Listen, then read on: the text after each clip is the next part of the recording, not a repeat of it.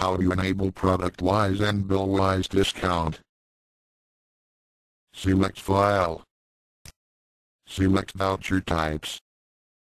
Select search. Select any voucher types. Sale. Click settings. Select screen and validation. Make yes to product-wise discount.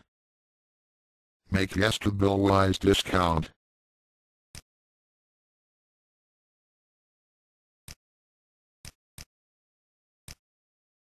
Select sales invoice.